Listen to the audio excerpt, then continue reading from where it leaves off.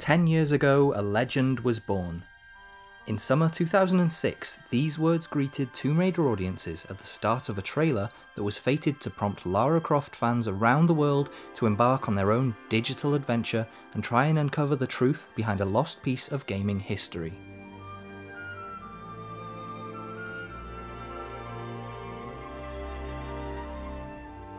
A couple of months after the release of Tomb Raider Legend, the leaked trailer found its way online, accompanied by John Williams' legendary Star Wars score and implying the return of original developers at core design, this was an unforgettable moment in Tomb Raider's history.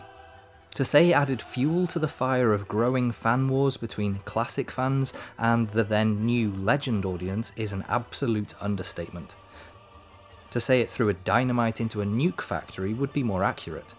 It fiercely ramped up the wars between core fans and Crystal fans, ironically beginning a new duel of the fates, as people were visibly arguing over which team should be in charge of Tomb Raider's future. Tomb Raider Legend sold and performed very well. Many people, both old and new to the series, were pleased with the refreshing new direction it was taking the series. Many were not pleased, and longed for a return to the previously more complex method of gameplay. When the trailer depicting Lara Croft exploring very familiar yet beautifully updated environments appeared online under the development of core design for PSP, the fans who preferred Tomb Raider's previous direction felt very hopeful they'd received their wish. However, right from the very beginning, the Tomb Raider 10th Anniversary Edition leak was accompanied by the information that it was a cancelled game that was in development until recently that year. But why was it cancelled? Many, many people wondered. Many didn't believe it because the game looked so polished and complete. It wasn't long before people who knew people all but confirmed the cancellation to be true. Still, people refused to believe. The trailer showed practically every level from Tomb Raider 1, therefore the game must have been complete, surely. On June 15, 2006, Core Design issued a statement. Following speculation on the internet, we would like to offer the following clarification. The video of Tomb Raider 10th Anniversary Edition that appeared on certain sites was an unauthorized release of an internal presentation of a game that was being developed by Core Design until very recently. It was running on PSP and used a core developed engine, however, following a recent review, this project has been officially cancelled by SCi. It was the nail in the coffin. Forums began to stop people from talking about it for fear of legal issues from the publishers, but following the Streisand effect, the more people who tried to shut it down, the louder it got, and more and more people began to explore this forbidden media. So, what had actually happened? Back when Tomb Raider Legend was in development by Crystal Dynamics, Core Design were working on their new IP, Freerunning. In an interview with core design artist and animator Phil Chapman, he said that around the year 2004, the team were playing about with Lara in the free running engine, and the idea came to them to try and update the original game for the 10th anniversary in 2006. Core heads approached Eidos with this idea. According to core producer Steve Pritchard, Ian Livingstone grinned a smile a mile wide when I described the concept as a director's remastering of the original, with additional content filling out the whole Tomb Raider 1 game. Eidos were up for it so Core began working on their anniversary game in 2005.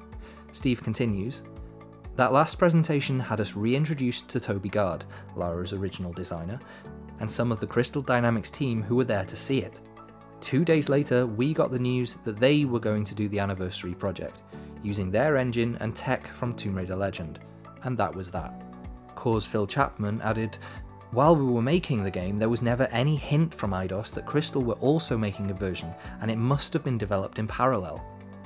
It's assumed that around the time of Legend's release and good reception, Eidos were convinced that it made sense to allow Crystal Dynamics to bring their anniversary game to fruition, rather than have Core Design produce the game, as they were in the process of being sold to the gaming company Rebellion, and that they wouldn't want Tomb Raider to be produced by a third party developer as a result. The trailer leaked online, Fans went wild for numerous reasons, and then we received Core Design's confirmation that the game had been cancelled. The very next day, Eidos issued another statement confirming that Crystal Dynamics would be creating their own Tomb Raider anniversary. Our 10th anniversary edition of Tomb Raider is a one off title to celebrate both Lara and Tomb Raider, It will appeal not only to loyal fans of the Tomb Raider series, but will also attract a totally new audience. As you can imagine, or if you remember it, more dynamites were thrown into the nuke factory. Fans warred and worried, celebrated and cheered, and in 2007 Tomb Raider Anniversary was released, and the rest is history. Crystal Dynamics maintained their hold on the Tomb Raider IP, received praise for many of their games, and are still credited with development roles in the franchise today. Wars across the Tomb Raider community haven't subsided much. Take a look on the forums and social media, it's a rare day goes by without some form of fighting over whether Crystal or Core made better Tomb Raider games. However, this isn't a video about wars or fighting or anger or bitter disappointment. This is a video about hope. Because ever since that initial trailer leaked, fans rose to the challenge of raiding this tomb with all the enthusiasm of Lara discovering a lost valley and they attempted to unearth as much as they possibly could about it. No stone was left unturned, particularly by Ash, webmaster of the Tomb of Ash fan page. For years, he sought out everything he could find, from documents detailing every aspect of the game, concept artwork, gameplay videos and trailers, to the character models, level layouts, textures, and more. Ash's hard work on this cannot be overstated. He worked tirelessly over the last 14 years to bring all of these things to Tomb Raider fans and showcase them like the lost treasures that they are for all the world to see. His efforts paid off spectacularly, culminating in him receiving a build of the game itself. The build contains all of the game assets, textures, characters, enemies, level geometry, but in its current state, the build is not playable. And that is where we come in. If Ash receives Crystal Dynamics permission to release these assets, then they could be used in a multitude of ways. The models could be incorporated into mods, the geometry could be adapted into the Tomb Raider level editor, better still, a collaborative effort could result in fans fixing up this build of Core Design's 10th anniversary adventure into a playable game. When he previously contacted Crystal Dynamics, he told them he may receive the build at some point, and if he does, he asked if he could release the assets to the public. Their legal team did not give their permission, and he was told no. Since then, he was able to release screenshots from the build and rebuild some hype for this lost gem. He hopes that we can channel our excitement and enthusiasm for the game and direct it towards Crystal Dynamics tag them in posts across social media, send them emails, comment on their posts, hell, employ skywriting or telegrams or faxes and shout it from the rooftops if necessary. Just let them know how much we want their permission to get this build into public hands. As Ash says, core design are no more. This game has no commercial value to Crystal. It would just be a gift to the Tomb Raider community, especially considering the 25th anniversary is only around a year away. I'm including a link beneath this video to his post that has all of the information, along with a link to the petition, which aims to get Crystal's attention. Be clear, this is not asking for Crystal to drop everything and continue working on Core's Anniversary Edition. It's not asking development time from them. It won't get in the way of Avengers or any Tomb Raider projects they may or may not be working on. It's just to ask their permission for fans to freely work on this Anniversary Edition build. It's something I implore you to check out and attempt, even if the odds are stacked against us for this game over the years. It can't hurt to try. I'm not saying it's going to be the best game ever, I'm not saying it's even going to be the best Tomb Raider game ever, but it is an absolute treasure, an artifact of the past, and something really damn cool that deserves to be explored. It's what Lara would do. So if you missed out on all the 10th anniversary edition news over the years, I'm going to do a bit of a run through analysis of everything that's been uncovered and what was planned to be available with this game. First up, new moves. Gameplay videos and animation tests showed off things like swinging on parallel bars, something that wasn't present in the original. We saw extra moves like a free running inspired double jump, which allowed Lara to scramble up walls, Things like this would have allowed the developers to redesign areas we previously knew off by heart, and allowed them to incorporate brand new puzzles. Other listed new moves that weren't in the original included climbable walls, crawling, sprinting, shimmying around corners, quickly shimmying on different levels. We saw a clip of Lara pressing switches while clinging onto a ledge, allowing switches to be placed in new, crafty locations. Lara pulling a lever which then becomes a parallel bar to swing from. These are things that weren't ever incorporated into the games afterwards, but just imagine the scope of what could be done with traversal and redesigned puzzles like this. We got a glimpse of redesigned areas. Concept art from James Kenny and Carl Yellett Bilby showed off many familiar locations which we previously knew or assumed were in covered cavernous caves, or sheltered from the outside world. Some redesigns seem to imply these areas would have been outdoors in Anniversary Edition, giving the game a grander scope and feeling of size. The original Lost Valley seems to have been split into two areas for the Anniversary game. The Lost Valley was the area with the cogs and the waterfall, which in Anniversary Edition looked more beautiful than ever.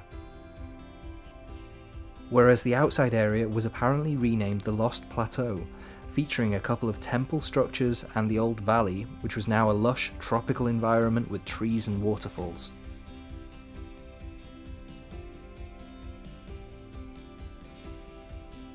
An enormous Medusa statue had been placed in the tomb of Tihocan.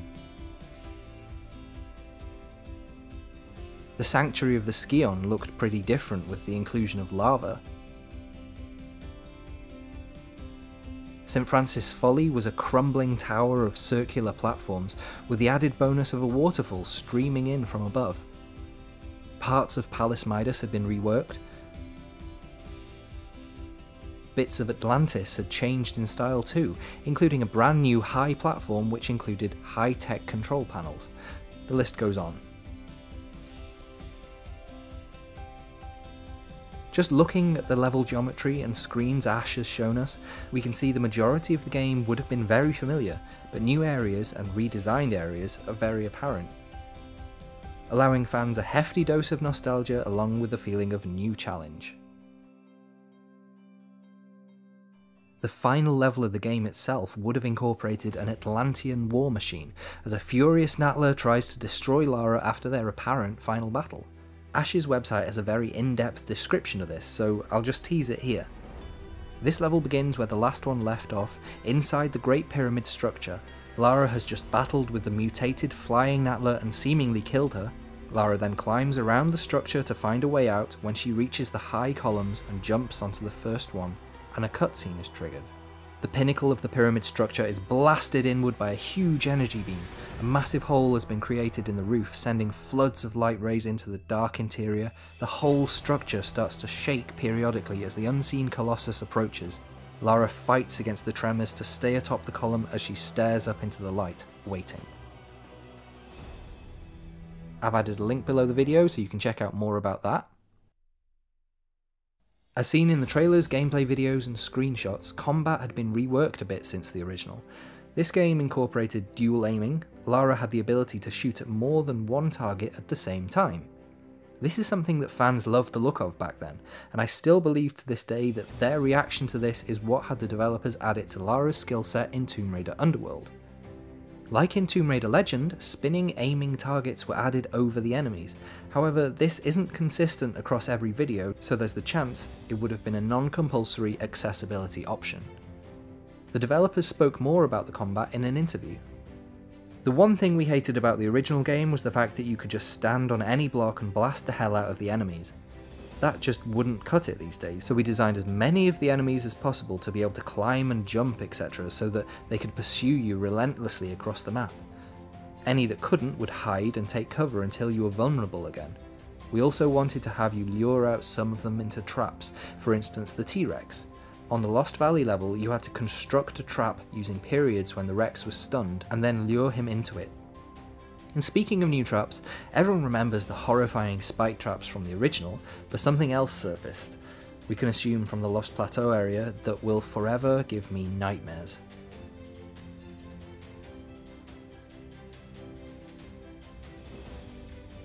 The developer said the original cutscenes would have been remade, so it wouldn't just have been the easy route of incorporating the old FMVs.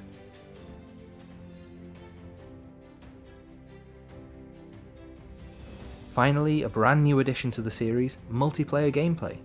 The version of the game we found out most about was the PSP build.